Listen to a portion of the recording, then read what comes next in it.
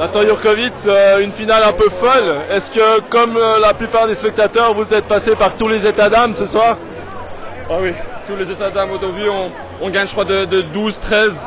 Là tout allait bien. Après, euh, bah, ils, sont, ils revenus, on, est à moins 2 au début du quatrième.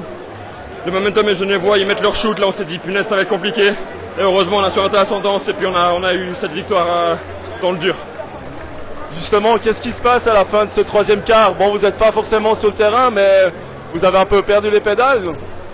Non, bah, ils ont mis des shoots, nous on arrivait, on, on bafouillait un peu en attaque, ils avaient, on galérait un peu sur les rotations, mais ouais, heureusement on a très vite suréquilibré tout ça et on a, ouais, pour le puis c'est le dernier carton qui compte.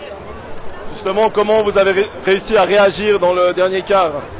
Le coach nous a, nous a un peu, nous a un peu secoué, on, a- on devait juste resserrer la défense, et une fois qu'on a fait des stops défensifs, on attaque ça allait tout seul.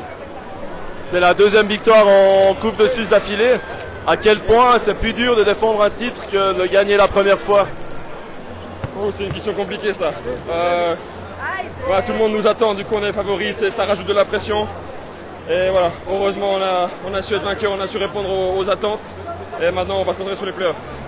Et vous, personnellement, vous, vous revenez de blessure, vous n'avez pas joué les deux derniers matchs, et vous faites euh, finalement euh, une super partie aujourd'hui.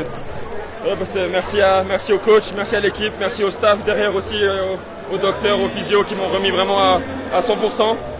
Et puis ouais, merci, merci à tout le monde, merci, à, merci au basket.